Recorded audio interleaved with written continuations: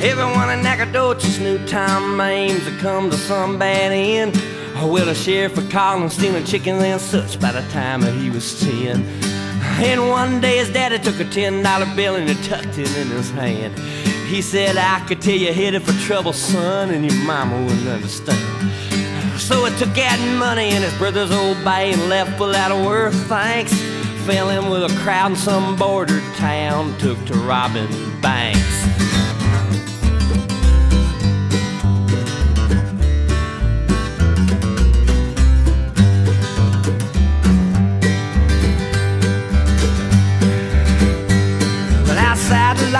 Will run out fast and a few years came and went.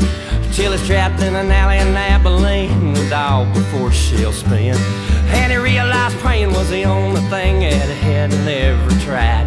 Well, he wasn't sure, he knew quite how, but he looked up to the sky. Said you don't owe me nothing, and as far as I know, Lord, don't owe nothing to you. I ain't asking for a miracle, Lord, just a little bit of luck to do. And you know I ain't never prayed before, That the same as begging, Lord, I don't take no charity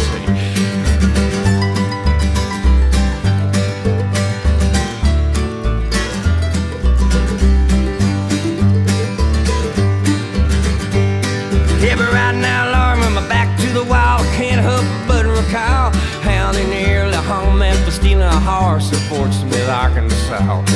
Judge Parker said guilty, and the gavel came down like a cannon shot. And I I began to file a plot. Well, I sent the preacher down to my cell. He said, Lord is your only hope.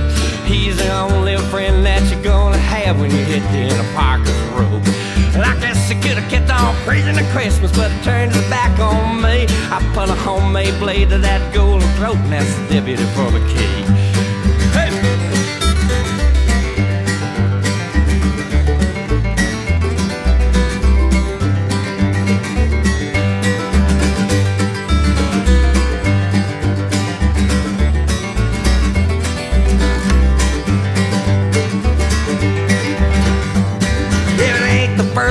Call I ever had, as I'm sure you already know. I had some help from you, Lord. The devil himself's been strictly touch and go.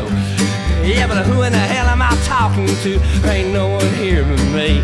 And then the cop pulled his pistols and he spit in the dirt and he walked out in the street.